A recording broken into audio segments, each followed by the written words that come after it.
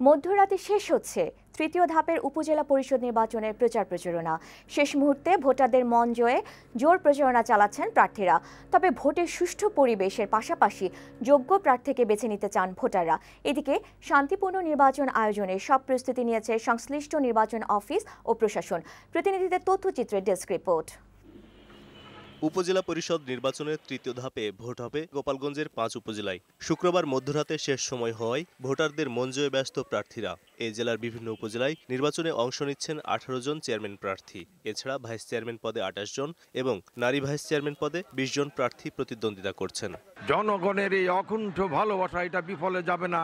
জনগণ আমাকে আশ্বাস দিয়েছে যে আমাকে ভোট দিবে। তৃতীয় দফার উপজেলা নির্বাচনে মাদারীপুরের তিনটি উপজেলায় অনুষ্ঠিত হতে যাচ্ছে নির্বাচন।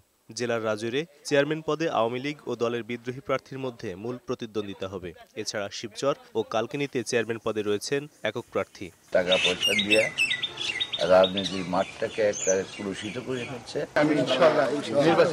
এবারের নির্বাচনে ঝিনেদহের চারটি উপজেলায় চেয়ারম্যান পদে আটজন ভাইস চেয়ারম্যান পদে পনেরো জন ও নারী ভাইস চেয়ারম্যান পদে চোদ্দ জন প্রতিদ্বন্দ্বিতা করছেন। প্রচারণায় তাদের ঘাটতি না থাকলেও ভোটাররা চান যোগ্য জনপ্রতিনিধি বেছে নিতে।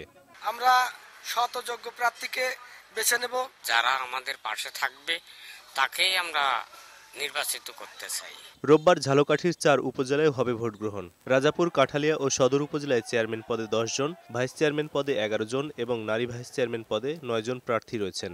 নলছিটিতে চেয়ারম্যান পদে একক প্রার্থী থাকলেও অন্য দুই পদে ভোট হবে। ভোট গ্রহণ শান্তিপূর্ণ করতে সব ধরনের প্রস্তুতি সম্পন্ন করেছে নির্বাচন কমিশন ও প্রশাসন।